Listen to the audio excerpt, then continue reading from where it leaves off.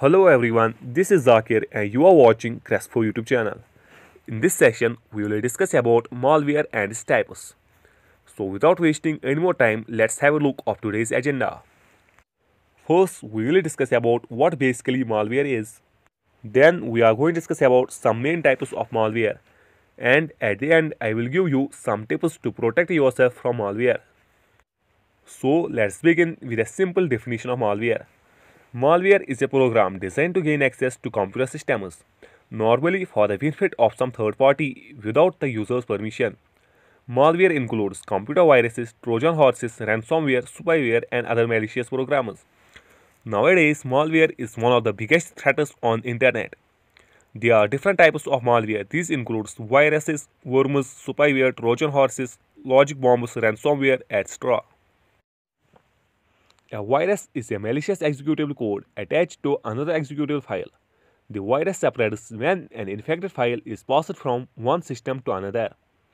Worms replicate themselves on the system, attack, attaching themselves to different files and looking for pathways between computers, such as computer network, that shares common file storage areas.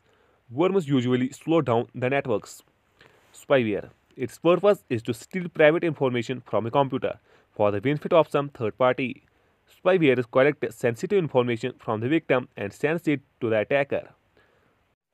Trojan horses. A Trojan horse is a malware that carries out malicious operations under the appearance of a desired operation, such as playing an online game. A Trojan, a Trojan horse varies from a virus because a Trojan blends itself to non-executable files such as image files, audio files, etc.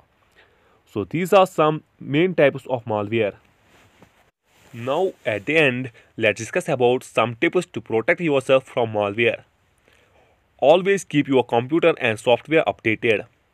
Think twice before clicking on any link or downloading anything. Do not download any file and an APK from unknown sources. Use antivirus software. Don't use open Wi-Fi. Always use multiple strong passwords. So these are some tips that you can follow to protect yourself from malware. So that's it for this video. I hope you guys learned something from it. Like our video, like, share, comment and don't forget to subscribe our channel crus4 for more informative videos. See you next time. Till then, bye bye.